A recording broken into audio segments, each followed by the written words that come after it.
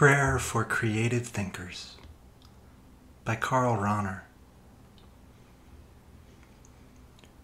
Eternal God, Creator of all men and of all things, invisible and visible alike, God of all history, you who are the Lord and the goal, the power and the light of all the activities of the human spirit, today we bring before you our prayer of intercession for all those who have a creative contribution to make. Lord, who else offers prayers on their behalf? And yet we know that the goal they set themselves, their creative power, their work, and their achievements are willed by you. For your will is extended unreservedly to all those who are engaged in constantly producing new expressions of their own nature and spirit, all those who are the architects of themselves. You love the sort of person who realizes their own being in what they achieve and produce, who discover and express that nature which is an image and likeness of your own glory.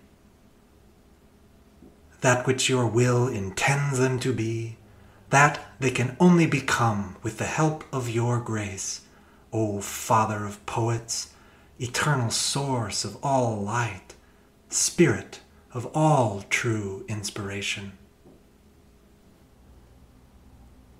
It is for this, then, that we entreat you and invoke your Holy Spirit upon them. Raise up among us people endowed with creative powers, thinkers, poets, artists we have need of them. Remember that saying that man cannot live by the bread of the body alone, that unless the word that proceeds from your mouth becomes his nourishment, he will go hungry. That saying applies to them too. Give to these young persons the courage to respond to their inner call, to bear the burden and the pain which such a call involves not to be led into betraying their task in the quest for money and the cheap applause of the superficial who wish merely to be diverted. In words and in images, in their whole attitude and presentation, they express what is in man because they proclaim what they themselves experience. And in expressing this, let them express everything. Grant them the experience that man is not merely the frustrated hell of his own nothingness, but also the fair and blessed land over which stretches the heaven of your own infinitude and freedom. They do not need to be constantly bringing you into everything they say. They must make mention of you by name only when they are filled with the spirit of the purest happiness or the deepest pain. For the rest, let them honor you with their silence. For the rest, let them praise the earth and humanity. But in doing this, they must always bear you silently in their hearts, for it is here that their creative work has its source. Then even the slightest song becomes an echo of the rejoicing that takes place in your heaven. And even when they have to tell of the most somber depths to which man can sink, still their record of this is encompassed by your compassion and permeated by a longing for light, virtue, and the eternal love. Then even an attempt to entertain is still a reflection of the gentleness and patience with which you love us in our daily lives. Give them the courage to attain to the light and to the joy in the darkness of this age and in all the hunger and poverty of our hearts. Such courage is a grace that comes from you but give it to them, for we have need of such high courage. Give them the courage to distinguish and to decide. They do not need to be so very subtle, but their work must manifest the fact that an undivided heart has wrought them, one which, while it is open to everything, still in everything seeks you, and seeks everything in you, recognizing no craven compromise of peace between the good and the evil, the light and the darkness. Give them the courage to constantly begin anew, because only so do they find their source in that which is true from all eternity. Let them say what your Spirit has given into their hearts, rather than that which would make pleasant hearing to those who represent the forces of all that is average. When they make experience of the fact that all their work is in vain, of the frustration of their creativity and the insensitivity of their age, let them believe even then that in your sight what seems to be so futile is not futile, that you have regarded their work with delight, and have gently taken their heart when it was breaking into your own heart.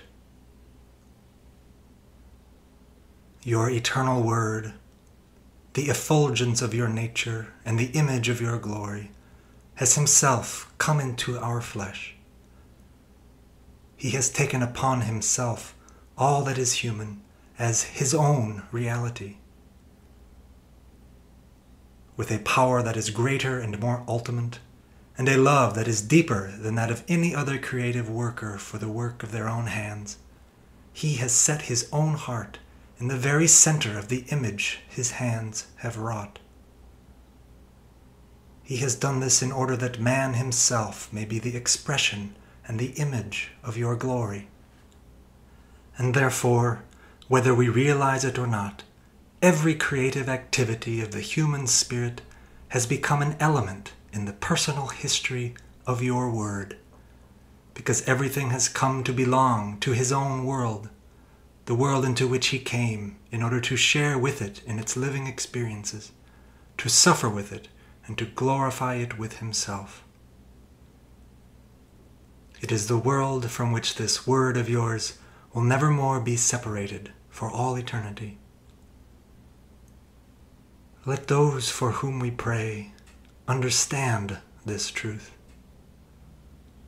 What they create is inevitably either a part of the cross to which they nail your Son in guilt, and therefore a condemnation of themselves, or else it is a factor contributing to the coming of the eternal kingdom of this same Son, and therefore a grace for them. For this kingdom does not only come from without as the end and the final judgment of this present world, it emerges as the hidden grace which has been present in the midst of this earthly reality ever since your own Word descended into his own creation and became the heart of all things.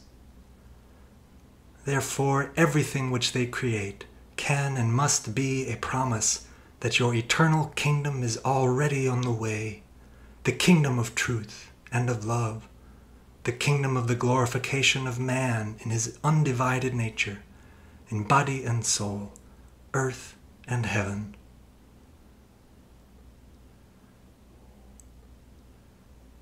Therefore grant to them too that they may be proclaimers and promoters of this kingdom.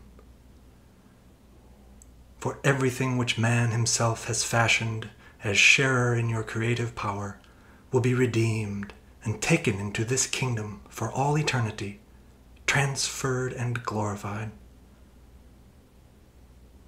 May the Spirit of your Son come upon them, in order that your name may be praised, now in this time and throughout all eternity.